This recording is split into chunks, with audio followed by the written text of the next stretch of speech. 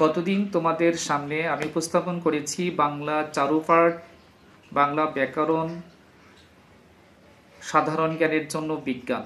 বিশ তারিখ পর্যন্ত পড়া দিয়েছি। বিজ্ঞানের পাশাপাশি অন্যান্য সাধারণ জ্ঞান তোমাদেরকে দিয়ে দিব আজকে থেকে শুরু করছি। সেটা তোমরা ভালো করে অধ্যয়ন করবে। ক্যাডেট কলেজের জন্য ব্যাপকভাবে সাধারণ জ্ঞান অধ্যয়ন করতে হয়। বাংলাদেশ এবং আন্তর্জাতিক বিষয়ের উপরে এক এক বছর এক এক ধরনের প্রশ্ন এসে থাকে, যার কারণে আমাদেরকে আন্তর্জাতিক বিষয়ের উপরেও লেখাতে হয়। তা আন্তর্জাতিক বিষয় আমরা এখন পড়াবো না, সেটা ইনশাআল্লাহ ক্লাস যখন শুরু হবে, স্কুল যখন স্টার্ট হবে, তখন আমরা এগুলো লেখাবো। এখন তোমাদেরকে বাংলাদেশের অভ্যন্তরীণ বিষয়ে সম্পর্কে কিছু কিছু শিট মাঝে মাঝে দেব। আজকের থেকে সেটা শুরু করছি।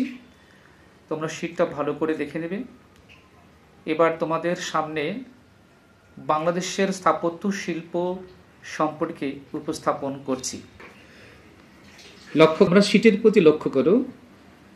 স্থাপত্য শিল্প, স্থপতি ও কোথায় অবস্থিত? এখানে ধারাবাহিকভাবে দেওয়া আছে স্থাপত্য, স্থপতি, অবস্থান। জাতীয় স্মৃতি সৌধ। স্থপতি সৈয়দ মইনুল হোসেন কোথায় অবস্থিত? বা অর্থাৎ অবস্থান সাভার। কেন্দ্রীয় শহীদ মিনার, স্থপতি হামিদুর রহমান, অবস্থান ঢাকা মেডিকেল কলেজ প্রাঙ্গণে। এইভাবে পর্যায়ক্রমে লক্ষ্য করো যে প্রায় ষোলোটির মতন দেওয়া আছে লাস্টের আছে, রাজারবাগ স্মৃতির সৌধ। স্থপতি মোস্তফা হারুন কুদ্দুস হিলি অবস্থান রাজারবাগ ঢাকা। এই জিনিসগুলো তোমরা শিখবে। এরপরে ধারাবাহিকভাবে আমরা দেব সেগুলো যথাযথভাবে অধ্যয়ন করবে। আজকে এ পর্যন্তই। ভালো থেকেও সুস্থ থাকো আল্লাহ হাফিজ।